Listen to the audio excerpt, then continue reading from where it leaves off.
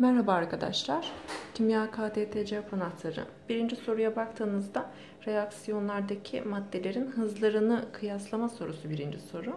Evet, tepkimedeki maddelerin hızları katsayılarıyla doğru orantılı biliyoruz. Hemen katsayılarına bakarak hızlarını yazdık. Buna göre hız kıyası yapacaksınız.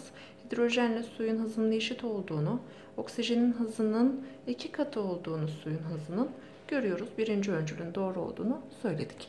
İkinci öncüle baktığınızda yine e, reaksiyondaki maddelerin hızları katsayıları ile doğru orantılıdır mantığında bu öncülün de doğru olduğunu söylersiniz. Üçüncü öncüle baktığınızda Evet, tepkimedeki maddelerin hızlarını yazdınız. Hidrojenle bromun hızını eşit buldunuz. HBr'nin hızının iki katı mıdır bromun hızı? HBr'nin hızının iki katı değildir bromun hızı. Yanlış olan bu. 1 ile 2'nin doğru olduğunu söylemelisiniz bu soruda. İkinci soru yine Evet, hız kıyası ile alakalı bir soru. Bu sefer reaksiyonu bizim yazmamız isteniyor. Bilgiler verilmiş. X'in harcanma hızı, X girenlerde madem, Y'ninkinin iki katıdır denmiş. Y'ninkinin iki katı olduğunu, katsayılarının biri iki şeklinde olacağını yazmalısınız bu noktada. Y'nin harcanma hızı Y'de girenlerde, Z'nin oluşma hızının üçte biridir demiş. Z'nin oluşma hızının üçte biri olduğuna göre reaksiyon denklemi bu şekilde olacaktır. İkinci soruda. Üçüncü soruya baktığınızda, üçüncü soru reaksiyon denklemi verilmiş. E, reaksiyondaki bir maddenin miktarı verilmiş. Hemen miktarından molüne geçiş yaptık. 1 molü 56 grammış demirin. Evet 11.2 gramı 0,2 moldür dedik. Hidrojen klorürün hızı soruluyor bu soruda.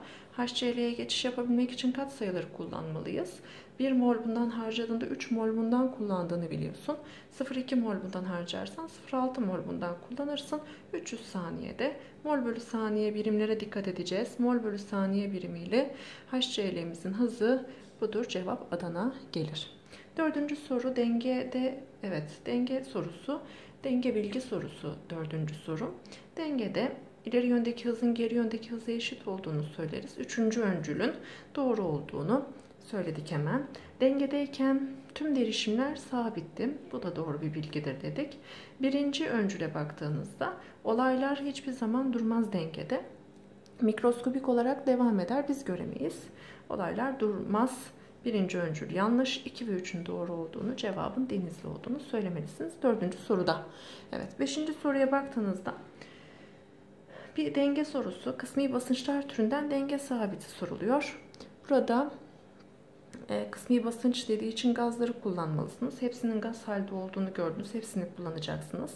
Ürün kısmi basıncı bölü giren kısmi basıncı yaparak cevabın Bursa olduğunu söylemeliydiniz bu soruda da. Altıncı soruya baktığınızda yine bir denge sorusu. Bu sefer KC soruluyor. KC soruluyor. Başlangıçta CH4 ve H2S'nin miktarları verilmiş. Bunlardan yok dediniz. Evet ve CS2'nin 1 mol denge anında oluştuğu söyleniyor. 1 mol oluşuyorsa Bundan 1 mol harcanıyor, bundan 2 mol harcanıyor, bundan 4 mol oluşuyor demelisiniz kat sayılarına göre ve dengeye ulaşmalısınız. Mol birimiyle dengeye ulaştınız. Mol bölü litre kullanacaksınız. KC yazmanız isteniyor çünkü. Mol bölü litre yazdınız. Her birine derişim türettiniz. Ürün derişimi bölü giren derişimi diyorsunuz. KC hesabı yapıyorsunuz. Ürün bölü giren derken arkadaşlar kat sayıların üst olarak yazıldığını unutmuyoruz. Kat sayısını üst olarak yazdık. Ürün derişimi bölü giren derişim dedik. Cevabın Adana olduğunu söylemeliydiniz bu soruda. Yedinci soruda KC'nin birimi soruluyor. Hemen bunun için ürün, ürün bölü giren demelisiniz. Birimleri yazıp mesela birinci öncülde birimsiz olduğunu mol bölü litre mol bölü litreye götürür. Birinci öncül birimsizdir. KC'nin birimi yoktur. İkinci öncülde ürün bölü giren derişim birimlerini yerlerine yazdığınızda litre bölü mol birimini elde edersiniz. Üçüncü öncüle baktığınızda yine birimler birbirine götürecektir. Yine birimsiz gelecektir KC. Yalnız 2'nin cevabın Bursa olduğunu söylemelisiniz. Bu soruda da. Evet 8. soru yine bir denge sorusu. 2 mol HBr ile reaksiyon başlıyor. Dengede 0,8 mol HBr'nin kaldığı söyleniyor. 1-2 harcanmıştır diyoruz. Yine aynı mantık. Kat sayıları kullanarak ürünlere geçiş yaptık. ürün derişim bölü giren derişimi diyerek KC hesabı yaptık. Cevap Denizli geldi 8. soruda. 9. soruya baktığınızda yine bir denge sorusu. 9. soru yine bir denge sorusu. Evet 0,4 mol X ve 0,6 mol Y ile başlatılan tepkime şeklinde demiş. Denge sabitini vermiş. 0,2 mol Z oluştuğunu söylemiş. 0,2 oluşuyorsa 0,4 harcanıyor, 0,2 harcanıyor, 0,2 oluşuyor dediniz. Ve e, denge anına ulaştınız. Mol bölü litre yapmalısınız bu noktada KC hesabı yapmak için. Litre bilinmiyor. B dedim, mol bölü litre dedim. Ürün derişimi bölü giren derişimi diyerek KC verilmiş. KC işlemi yaparak buradan litrenin 5 olduğunu görmeliydiniz. Ve son sorumuz 10. sorumuz. 10. Soru, soruda yine bir denge sorusu. 0,5 litrede çalışılıyor. Evet 4 mol amonyakla başlatılıyor tepkime. Ee, %25'i harcanıyor.